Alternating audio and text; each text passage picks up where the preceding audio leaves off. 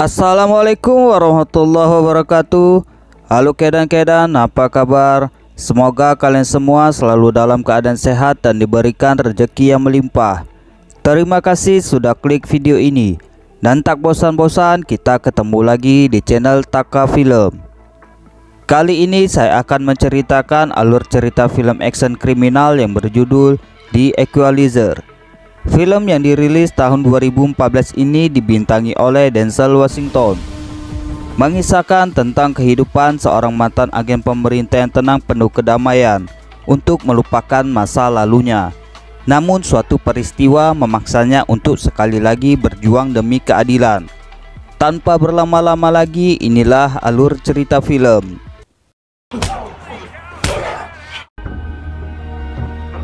Cerita berawal di kota Boston, Amerika, di mana tinggallah seorang pria bernama Robert McCall di kontrakan sederhana seorang diri. Robert termasuk pria yang cinta dengan kerapian, dan saat ini dia bekerja di sebuah toko bangunan.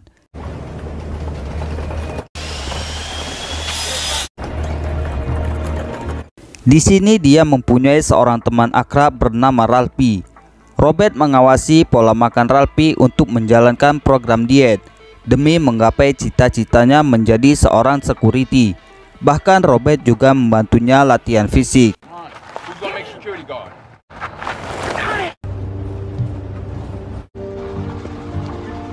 Sepulang bekerja, Robert melakukan aktivitasnya seorang diri. Makan sendiri, nyuci piring pun sendiri. Robert mempunyai kebiasaan membaca buku. Karena kebiasaannya itu, dia mengalami suatu penyakit yaitu Fatima alias payah tidur malam. Sehingga dia pun melanjutkan membaca buku di sebuah kafe Bang Jaka yang menjadi langganannya. Di kafe itu Robert bertemu dengan seorang wanita Rusia yang belum dikenalnya bernama Terry yang berprofesi sebagai kupu malam-malam. Wow, enak tuh. Pagi harinya Robert kembali bekerja Robert membangun pertemanan yang baik dengan semua karyawan tanpa memandang usia. Seperti biasa malam hari, Robert nongkrong di kafe Bang Jaka dan dia bertemu kembali dengan Terry. Tak lama kemudian seorang pria bernama Slavi menghubungi Terry. Slavi adalah mafia gangster jaringan Rusia yang mempunyai bisnis menyediakan banyak wanita kupu malam-malam dan kebetulan Terry salah satunya. Slavi meminta Terry untuk melayani seorang pelanggan bertubuh lebar. Tentu saja Terry menolaknya dan meminta Slavi mengganti dengan wanita yang lain. Namun Slavi terus memaksanya, sehingga mau tidak mau dan dengan terpaksa Terry menuruti permintaan Slavi. Malam berikutnya Robert memberikan Terry sebuah kue ulang tahun. Malam itu juga Terry dan Robert pun saling berkenalan dan bercakap-cakap. Ternyata nama asli Terry adalah Alina yang mempunyai cita-cita sebagai penyanyi. Tanpa ragu dan malu, Alina memberikan Robert rekaman suaranya. Robert menasihati Alina jika Alina bisa menggapai cita-citanya.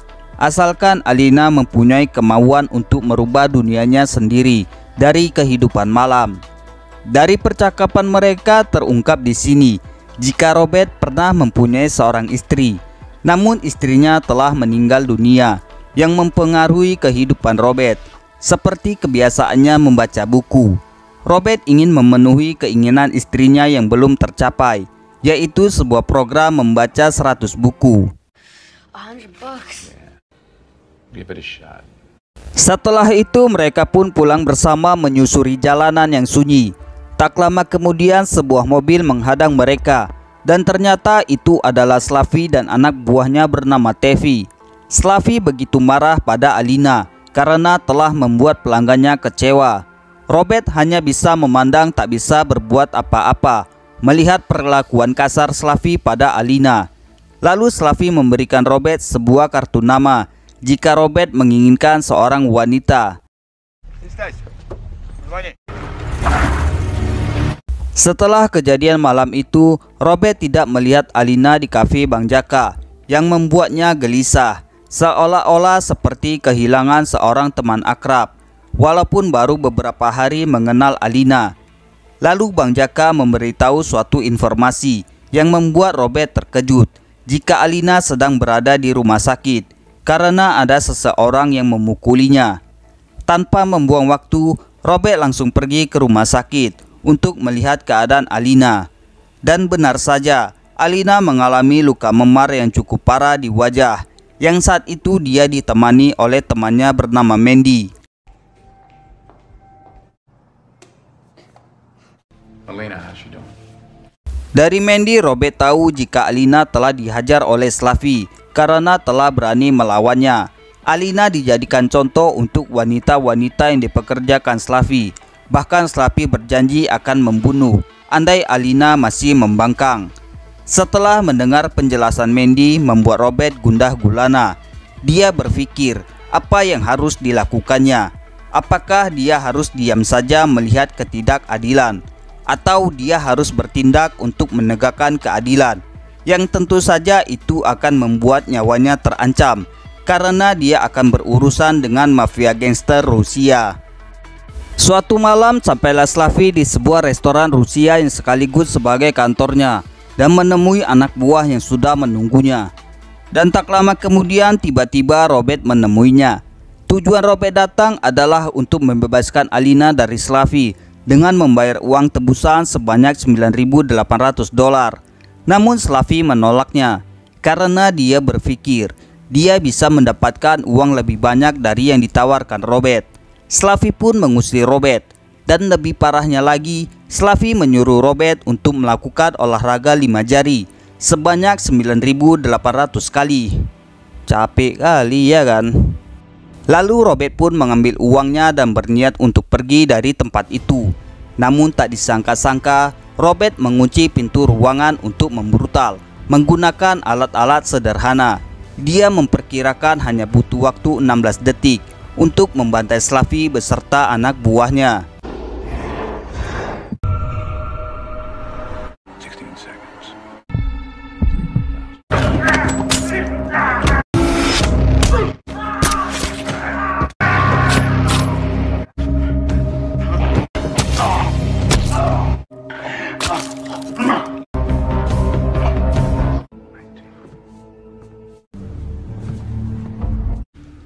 Shut down.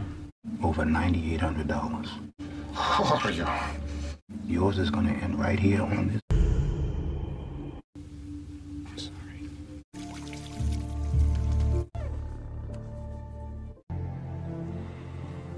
Pagi hari Robert bekerja seperti biasa. Hari itu Robert mendapat kabar bahagia dari Ralphie jika dia berhasil menurunkan berat badannya. Sementara berita tentang kematian Slavi dan anak buahnya pun telah beredar di televisi dan sampai ke telinga bos besar Slavi yang berada di Rusia bernama Vladimir Puskin yang mana Puskin menugaskan seorang pria bernama Teddy untuk menyelidiki kasus ini dan menangkap pembunuh Slavi. Apakah ini soal persaingan bisnis atau ada masalah yang lain? Dalam penyelidikannya, Teddy dibantu beberapa orang polisi setempat yang selama ini melindungi bisnis kotor jaringan Puskin. Lalu Teddy menginterogasi Mandy untuk mencari tahu di mana keberadaan Alina agar dia bisa mengungkap siapa yang telah melakukan pembunuhan ini. Namun Teddy tidak mendapatkan jawaban.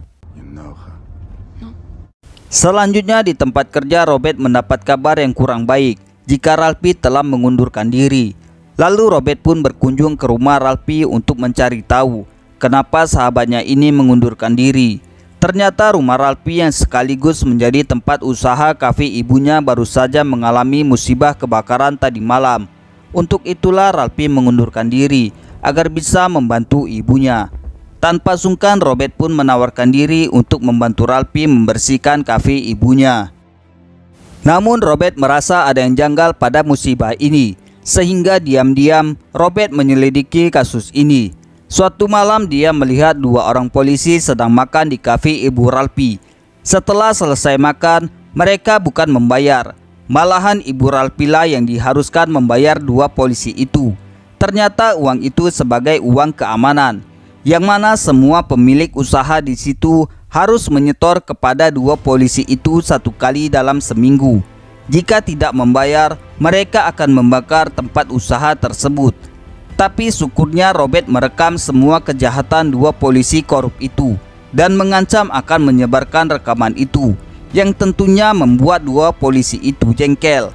Robert masih bersikap tenang dan meminta dua polisi itu mengembalikan uang kepada pemiliknya.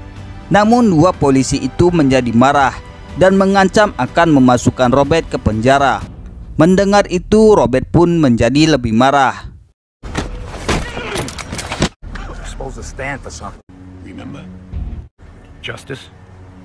Tomorrow you'll have returned all the money. That fucking hurt more than the beating. Setelah kejadian itu, Ralphie pun kembali bekerja dengan tenang. Dan yang membuatnya lebih bahagia adalah jika dia telah lolos ujian menjadi security yang menjadi cita-citanya. Saat kembali bekerja, Robert mendapati seorang kasir temannya sedang ketakutan menghadapi seorang perampok yang dengan paksa meminta uang dan cincin yang dipakainya. Di situ Robert berniat menghabisi perampok itu. Namun seorang bocil menyelamatkan nyawa perampok itu dan Robert pun menyerahkan semua yang diminta perampok itu. Setelah perampok itu pergi, Robert pun mulai mengingat nomor plat mobil yang digunakan perampok itu. Kemudian Robert mengambil sebuah martil untuk menghajar perampok itu dan mengembalikan cincin milik temannya dan juga martil milik perusahaan tempatnya bekerja.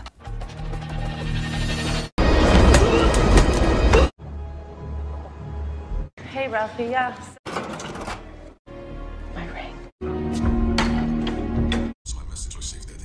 Yes. Sementara Teddy mendapat tekanan dari Puskin agar dengan cepat membereskan pekerjaannya supaya tidak menghambat bisnisnya di Boston.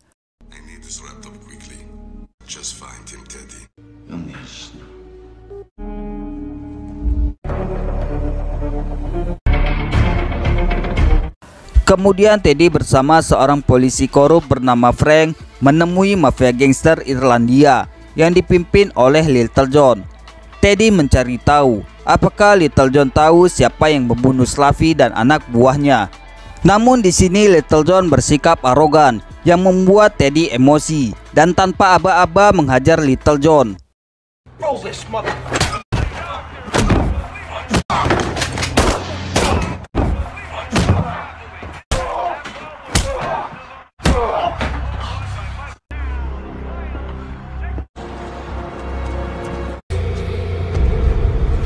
Selanjutnya Teddy kembali menginterogasi Mandy. Dengan lembut Teddy menanyai Mandy, siapakah orang terdekat Alina? Rupanya kelembutan Teddy itulah yang membuat Mandy mau buka mulut. Jika ada seorang pria baik hati, tapi nggak tahu namanya, yang berteman dekat dengan Alina. Setelah mendapatkan informasi itu, dengan kelembutan juga Teddy membunuh Mandy.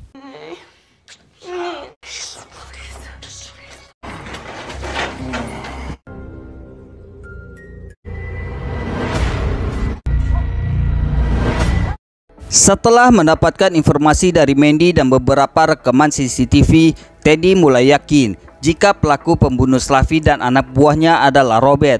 Tanpa membuang waktu, malam itu juga Teddy berkunjung ke kontrakan Robert dan menanyakan beberapa hal menyangkut kematian Slavi dan anak buahnya.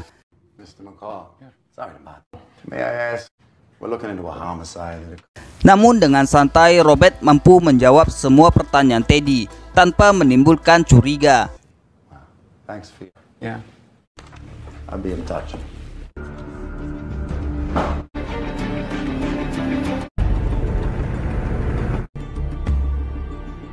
Setelah kedatangan Teddy, Robert merasa yakin jika suatu hari Teddy dan kaki tangannya akan kembali ke rumahnya. Untuk itu dia mulai mempersiapkan beberapa hal di rumahnya. Sementara dari catatan yang didapat kaki tangannya diketahui jika Robert adalah warga sipil biasa tanpa catatan yang mencurigakan. Namun semua itu tak membuat Teddy percaya begitu saja. Sehingga pada suatu malam, Teddy mengirim pembunuh bayaran yang menyamar sebagai petugas PLN ke kafe Bang Jaka untuk menghabisi Robert. Namun hanya menggunakan sebuah buku dengan cepat Robert menghabisi petugas PLN itu.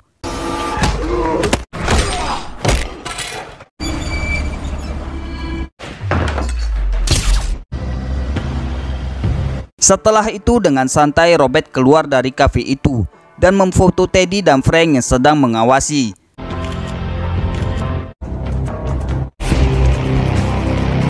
Prima, you got A side, front.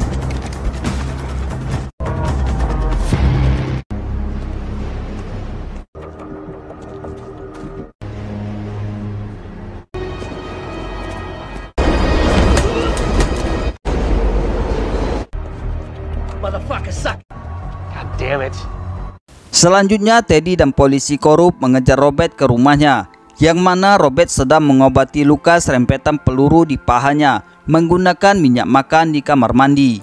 Sementara Teddy dan kaki tangannya mulai memasuki rumah Robert. Tapi ketika pintu itu didobrak,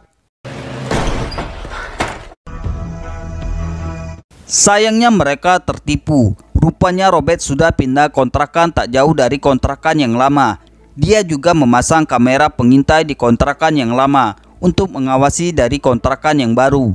Selain itu, Robert juga meninggalkan beberapa bukti palsu, seperti botol animo yang telah habis dan tiket palsu menuju Meksiko, agar Teddy berpikir Robert telah pergi meninggalkan Boston. Namun bukti itu tak membuat Teddy percaya begitu saja.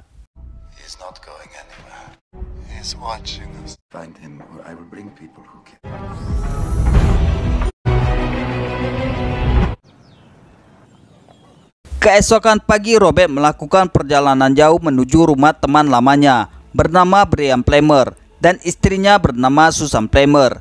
Dan di sinilah semua tentang Robert terungkap jika dia adalah mantan perwira angkatan laut sekaligus agen rahasia satu tim dengan Susan. Namun Robert memalsukan kematiannya setelah istrinya meninggal. Robert mencari tahu siapa Teddy sebenarnya beserta kaki tangannya. Walaupun sekarang Susan ditempatkan sebagai konsultan, bukanlah perkara yang sulit bagi Susan menemukan profil Teddy. Yang ternyata Teddy adalah mantan pasukan khusus Rusia, seorang yang tangguh dan cerdas, yang sekarang menjadi agen rahasia polisi dan bernama asli Nikolai Ichenko. Teddy dikirim oleh mafia gangster Rusia bernama Vladimir Pushkin untuk memburu Robert karena telah membunuh Slavi dan anak buahnya sehingga banyak bisnis kotor Pushkin di Boston menjadi terhambat. Dari Susan, Robert juga tahu jika dua dari tiga polisi Boston telah dibunuh oleh Teddy. Sementara Frank sudah beberapa hari nggak masuk kerja. Susan mengingatkan Robert jika Teddy tidak akan berhenti memburu Robert sebelum Teddy membunuh Robert ataupun orang terdekat Robert. Walaupun profil Teddy cukup menyeramkan, namun Robert tak sedikit pun gentar untuk menghadapinya karena dia ingin menegakkan kebenaran dan keadilan yang tentu saja Susan mendukung penuh keinginan Robert.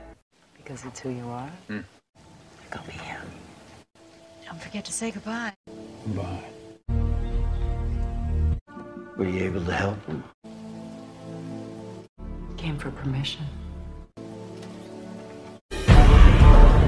Selanjutnya Robert datang ke rumah Frank yang sedang membuat dari Teddy. Namun bunyi alarm yang bising membuat Frank keluar dari persembunyiannya Sehingga dengan mudah Robert menghajar Frank dan menyandaranya di mobilnya sendiri Yang sudah dimasukkan selang berisi gas 3 kilo.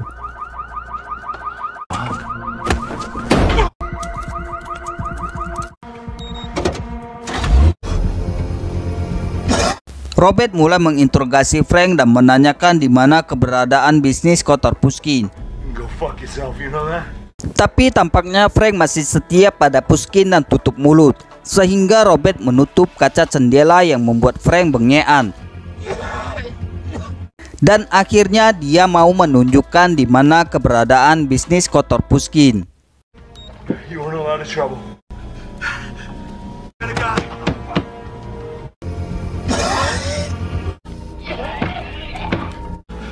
give me what I need. You fucking motherfucker. I'll be back.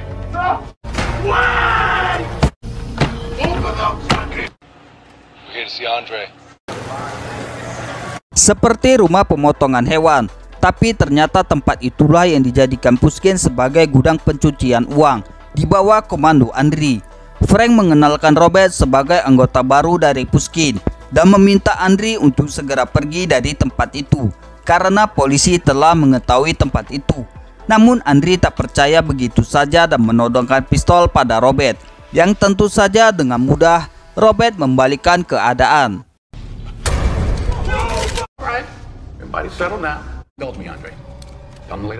Setelah itu Robert pun mengikat dan mengurung Andri dan anak buahnya.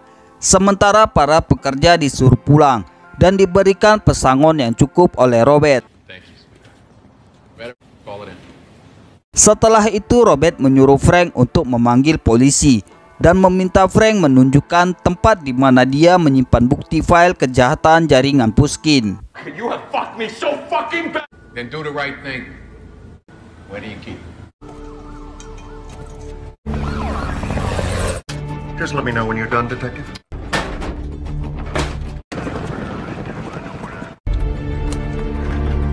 That was tagged to his jacket. Suatu malam Teddy memanggil seorang pembunuh bayaran untuk membunuh Robert.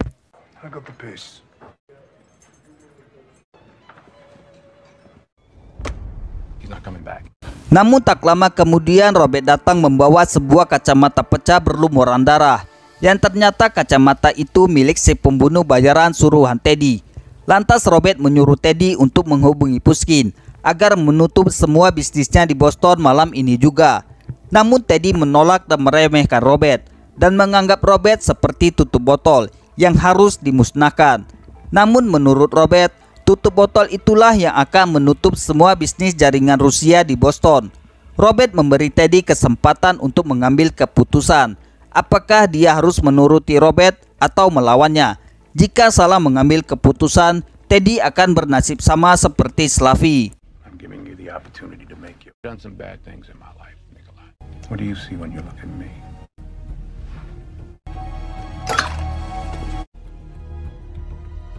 Sesampainya di rumah, Robert membuka bukti file kejahatan Puskin. Dia menemukan situs yang menyediakan jasa wanita kupu malam-malam.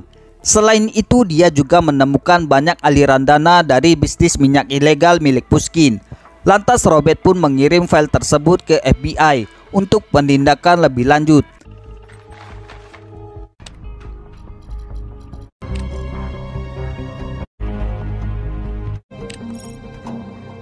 Selanjutnya Robert semakin memantapkan diri untuk melawan Puskin dengan meledakkan kilang minyak milik Puskin.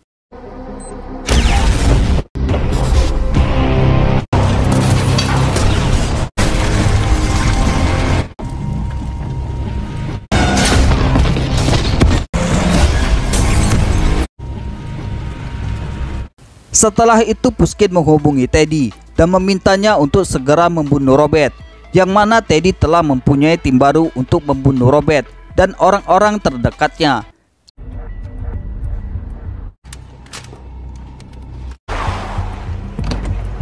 Lalu Teddy menghubungi Robert dan memintanya untuk datang ke suatu tempat dan mengancam akan membunuh rekan kerjanya yang telah disandera anak buah Teddy.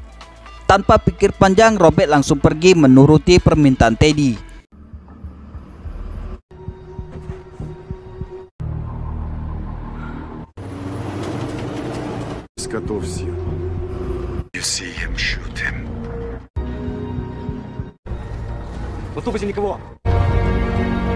Namun ternyata Robert lebih memilih pergi ke tempat kerjanya untuk lebih dulu menyelamatkan rekan kerjanya. Merasa ditipu tentu saja membuat Teddy murka. Dia langsung menyuruh anak buahnya untuk segera membunuh satu sandera. Tapi tiba-tiba alunan musik mengejutkan mereka. Lalu Ralphie diminta untuk mematikan musik tersebut yang berasal dari sebuah ruangan yang ternyata Robert sudah menunggunya.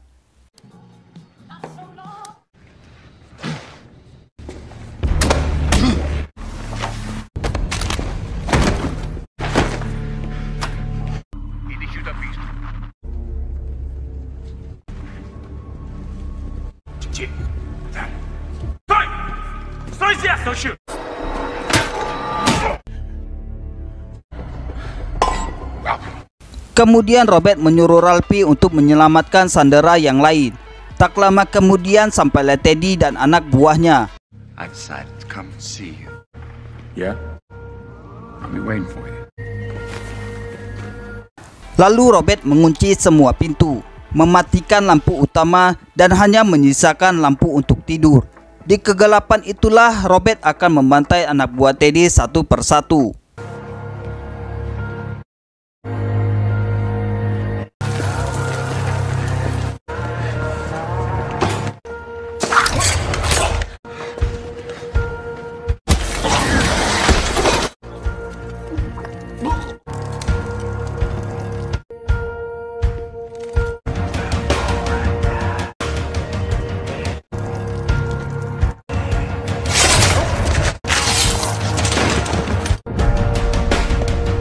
Namun sayangnya Teddy berhasil menembak Robert.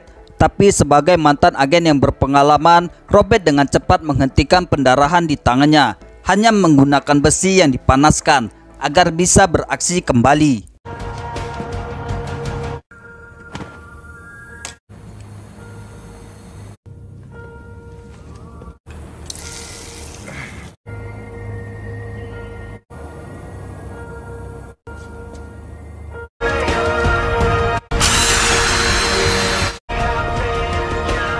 Setelah itu Robert bersembunyi di sebuah ruangan di mana satu anak buah Teddy sedang memburunya.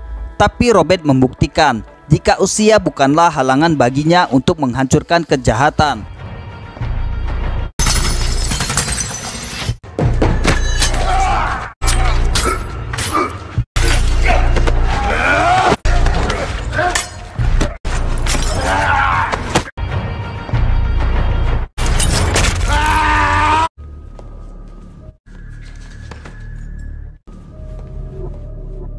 Lalu tiba-tiba Ralphie muncul untuk membantu Robert keluar dari ruangan itu. Dan di sinilah Ralphie merasakan panasnya timah yang mengenai kakinya. Ralphie, focus. Focus. Can you walk? Kemudian Robert dan Ralphie membagi tugas, di mana Ralphie bertugas untuk menghidupkan semua lampu, sedangkan Robert mengambil beberapa kaleng gas.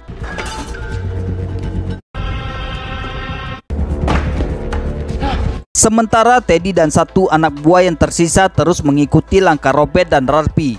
Tapi setelah semua lampu hidup, boom.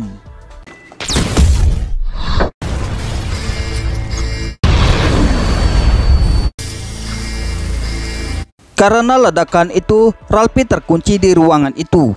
Dia tak punya pilihan lain selain mengeluarkan pistolnya untuk bersiap-siap menghadapi serangan Teddy. Tapi sebelum Teddy menyerang Ralphie, Robert muncul untuk menghabisi Teddy.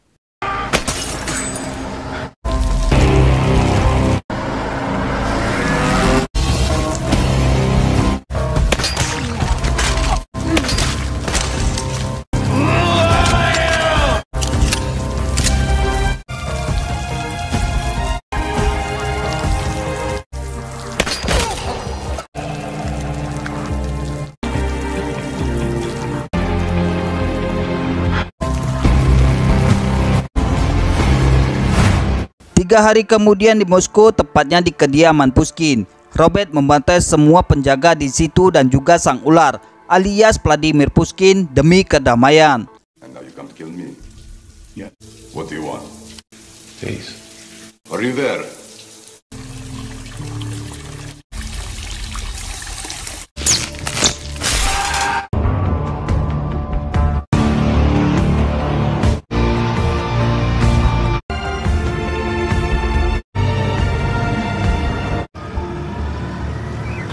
Setelah memberantas semua kejahatan mafia Rusia, Robert kembali bertemu dengan Alina yang sudah sehat untuk beraktivitas kembali.